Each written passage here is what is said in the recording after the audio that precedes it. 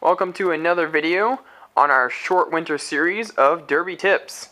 These are just helpful things to help any type of builder with building a car, working with tools, or anything in a shop. Today we're going to be talking about spending money with buying cars. Yes, I know how things are in the Derby world. Car prices are getting more expensive every year. There's no doubt about it. Scrap prices are going up, and indeed, used car prices are going up. The cost to build a Derby car costs more and more every year.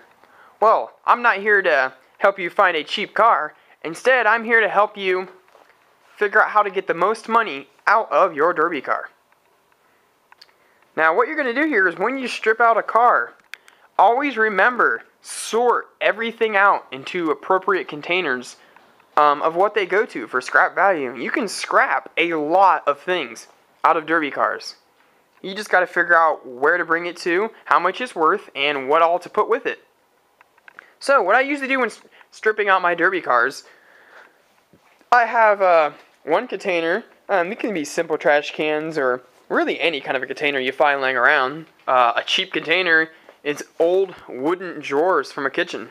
I saved them when there used to be a house out here. They work really good for sorting things out.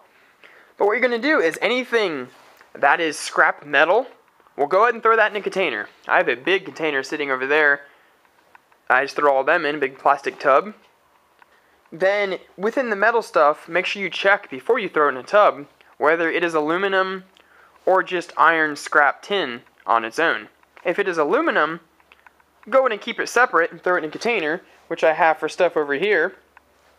So you now have a aluminum container and a scrap metal container.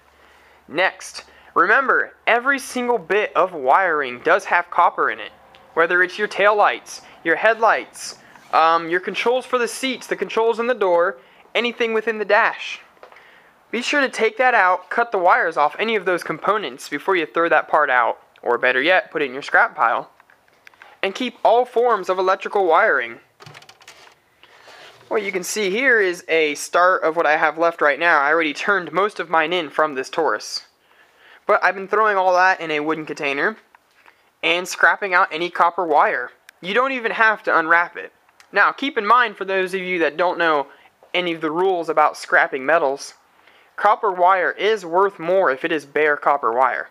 If you have the time to go ahead and peel open all these wires, take the copper wire out of them, lay them in a pile, or like I like to do is ball them up into a giant copper ball, which is really fun when you bring it to a scrapyard.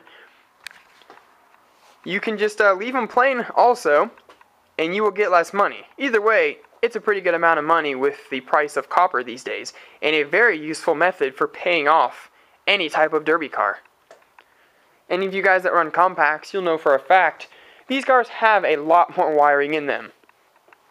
Unfortunately, you need a lot of that wiring compared to full-size cars where you can strip all of it out. But that doesn't mean you get to use that wiring for scrap. When you're done with a compact, if you're not saving that engine, be sure to go in separately, cut out all of this electrical wiring, save it separate, put it in a pile before you scrap this car. Because they will give you a better amount of money if you scrap the car, then weigh the copper separate and get profit from that.